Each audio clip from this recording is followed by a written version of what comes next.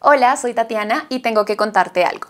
Cuando estaba estudiando inglés e incluso cuando me fui de intercambio, algunas veces cuando estaba hablando con alguien en inglés, sentía que no me entendían y por eso tenía que repetir lo que decía varias veces.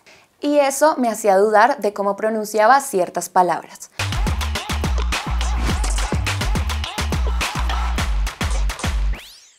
Yo sé, la pronunciación a veces puede llegar a ser muy difícil, y más cuando estás aprendiendo a hablar un nuevo idioma. Es como cuando estás aprendiendo a tocar un instrumento. Se debe practicar constantemente para poder llegar a interpretar una hermosa melodía. En este caso, debemos hacer lo mismo para tener una buena pronunciación. Así que aquí te presento algunos tips que me sirvieron a mí y pueden servirte a ti también. Antes de continuar, si te gustaría estudiar con nosotros, tenemos diferentes programas y cursos que se pueden adaptar a tus necesidades e intereses. Si quieres saber más sobre estos, dale clic a las tarjetas o al link en la descripción. Ahora sí, sigamos con los tips que te pueden ayudar a tener una pronunciación más natural. Primero, hay algo que debes tener en cuenta. ¿Sabías que el idioma inglés tiene muchos tipos de acentos diferentes en todo el mundo? ¿Y qué es el acento? El acento puede variar según aspectos como la locación, edad, nivel socioeconómico o incluso en la velocidad a la que habla cada persona. Y bueno, muchos aspectos más que pueden influir en que existan demasiadas variantes en la pronunciación. Pero entonces, ¿cómo puedes saber si una palabra se pronuncia bien o mal en inglés? El alfabeto internacional fonético es una muy buena herramienta para guiarte y saber qué sonidos son constantes en este idioma. Ahora, si esto te parece muy tedioso o difícil, lo mejor que puedes hacer es mirar toda clase de contenido en inglés, para así acostumbrarte a estos sonidos. Pero recuerda que no existe una sola forma correcta de pronunciar y que algunas palabras pueden variar en su pronunciación dependiendo de la persona. Por eso puede que la pronunciación de esta palabra suene correcta para alguien si tiene el mismo acento. Pero en realidad no significa que sea la única forma correcta de pronunciarla.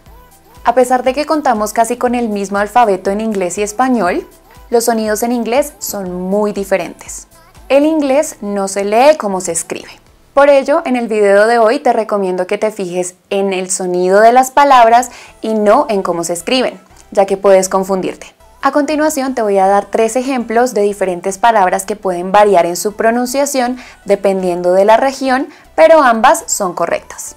Often que se puede pronunciar con una T silenciosa, often, often, pero también puedes decirla pronunciando la T, often, often. Por ejemplo, I often exercise in the morning. I often exercise in the morning. O I often exercise in the morning. I often exercise in the morning. ¿Sí ves la diferencia? Often, often. Often, often. Either, either, or either. Either. Neither, neither or neither. Neither. You can take either the blue pill or the red pill, but neither one will bring you the truth. You can take either the blue pill or the red pill, but neither one will bring you the truth. Utiliza el connector speech y el linking entre palabras en inglés para mejorar tu fluidez. Es sencillo. Cuando los hablantes nativos pronuncian una frase, lo hacen más rápido e incluso juntan las palabras. Así, una oración puede sonar como si fuera una sola palabra. Una forma de connected speech es cuando acortas las palabras como gonna, going to o wanna, want to. I'm gonna go to my friend's house. Wanna come? I'm gonna go to my friend's house. Wanna come? En un inglés más natural sonaría I'm gonna go to my friend's house. Wanna come? Ahora, el linking sucede cuando se juntan dos palabras, es decir, no se hace pausa entre palabras. Podemos practicarlo rompiendo la frase primero en partes más pequeñas. works in an office. He works in an office. Si ves que no suena he works in an office, sino digo he works in an office, también puedes ver esto en esta frase.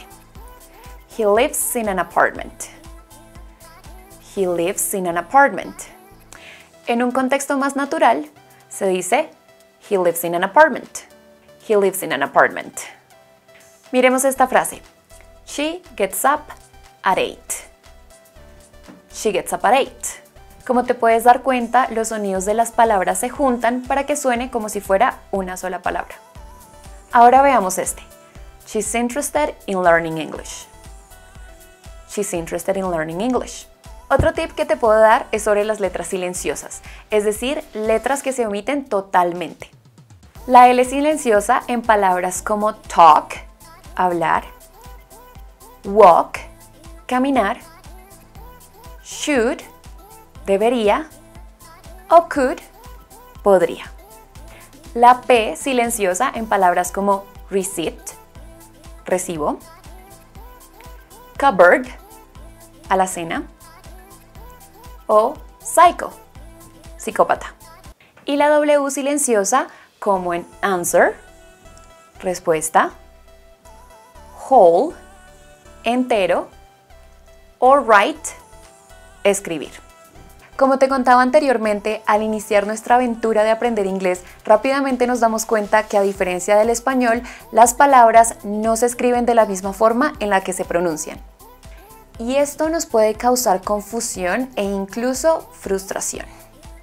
Pero lo importante es que con los tips que te mostré anteriormente podrás tener herramientas para identificar los diferentes sonidos de las palabras. Y así lograr una pronunciación que nos acerque mucho al sonido de los nativos.